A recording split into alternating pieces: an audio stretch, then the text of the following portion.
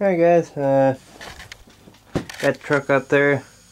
Got where the uh, little hill is so I can get the tractor off. You, you could probably see because um, it's missing the back of there. Probably wondering where it is. Well,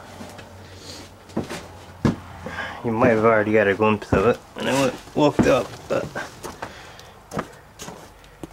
well, it's not over there. Not in there. Woo, not over in any of these. Not over there. I'm gonna tell you right now it's not out back, but I'll show you just in case. We gotta cover her back up because get blown off. See, she's not out there. Nowhere to be found. Well, she's not gone, so she's in the shop. I'll show you why. So you could definitely, definitely see that it ain't there. Huh? Got a little board.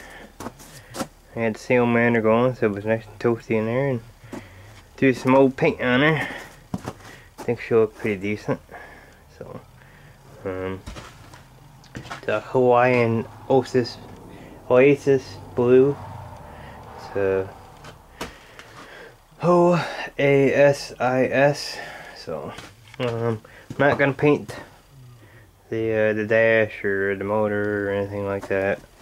So, the only thing I did paint was the hood. So, and the grill. Um, I'm not gonna paint. I don't think I'm gonna paint the white on the grill. I think we're just gonna leave it as is.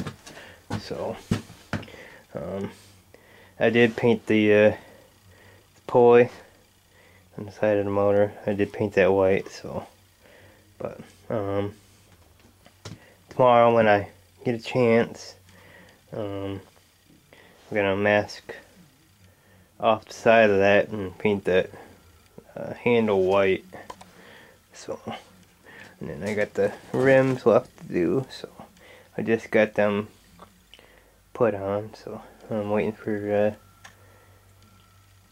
stuff the rest of the dry. It's pretty dry right now, but it's just a tiny, tiny bit of tacky, so, but, I think it looks pretty good. I like it, so, but, alright guys, I just figured I'd do a quick update.